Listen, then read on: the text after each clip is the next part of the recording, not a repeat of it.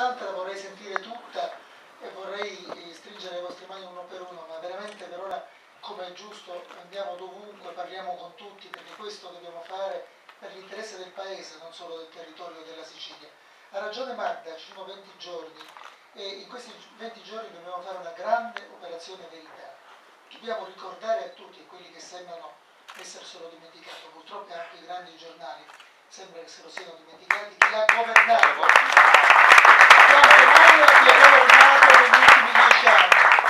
anche eh, durante il governo Monti, che il Partito Democratico responsabilmente ha appoggiato, noi abbiamo proceduto sotto ricatto del centrodestra di Berlusconi. Vi ricordate la prima volta che Alfano ha disertato un incontro, era da poco in funzione al governo Monti, quello è stato subito il segnale, il segnale del ricatto, non del dibattito per eh, affermare le proprie eh, ragioni. Poi certo Monti ci ha messo anche del suo, eh, pensate al ministro Fornero e alle lacrime, quante volte abbiamo pianto noi quelle lacrime iniziali della ministra Fornero.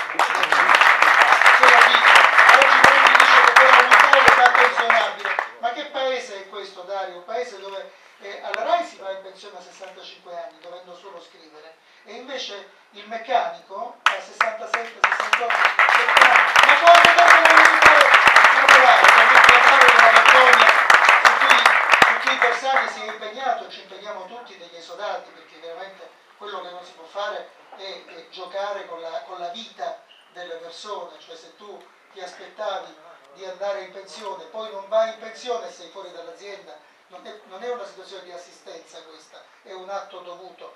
Dividiamo e separiamo l'assistenza dagli atti dovuti. Allora, hanno governato loro, posso dire solo una cosa, perché tantissimi mi chiedono, ah va bene, siamo contenti che sei in lista con noi, ma forse era meglio quando stavi a Renos 24. Vi posso dire che governano loro anche alla RAI, il governo dei tecnici, signori, su nove che decidono il Consiglio di amministrazione, quattro, quattro, chi sa di assemblee capisce che vuol dire 4 su 9 sono nominati da Berlusconi, uno da Casini, sono 5. No? Poi c'è uno del Tesoro, Grilli, eh? E sono 6. Poi c'è un presidente che viene da Banca Italia e sono 7.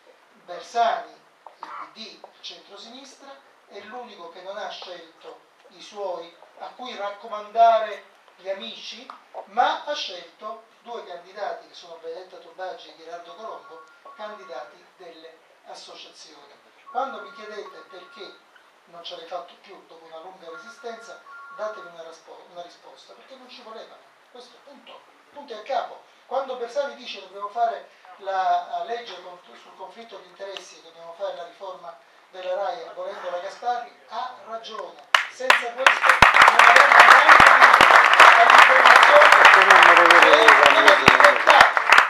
ed è importante quasi come il lavoro. Finisco. Eh, quello che ci ha lasciato questo dieci anni di liberismo esasperato e di governi della destra lo sapete, lo leggete sul giornale, ne avete ben chiaro. Oh, più di 3 milioni di disoccupati, eh, 4 ragazzi su 10, quasi 4 ragazzi su 10 che non trovano lavoro, e 60.000 universitari in meno, mentre tutto il mondo punta sulla ricerca e sulla università, e poi soprattutto un enorme numero di precari con i contratti in scadenza e con i contratti in scadenza senza nessuna prospettiva ad oggi di avere un contratto nuovo. Questo eh, il governo Bersani rischia di ereditare. E per questo è molto importante che abbia una maggioranza salda perché se no il giorno dopo, spiegatelo a tutti, il giorno dopo cominceranno i ricatti. E un governo sotto ricatto è un governo che ha grandi difficoltà ad affrontare le cose giustissime che voi dite. Quando voi parlate, io sono molto colpito, eh, Dario, dal modo concreto con cui questi territori, quando sento territori sono un po' preoccupato perché effettivamente eh, il deputato, il senatore non deve avere vincolo, vincolo di mandato, no? deve fare l'interesse della nazione, ci credo in questa cosa veramente, non è che può essere o far finta sempre di essere diciamo, teleguidato dalle domande, ma lo sforzo che qui hanno fatto è uno sforzo completamente diverso, non è una serie di richieste messe una dopo l'altro, tanto ce le dovete dare, no? come quelle delle quote latte ai leghisti, no? eh, avete visto abbiamo pagato tutti per, per i favori fatti ai leghisti con le quote latte, ma sono delle richieste intelligenti.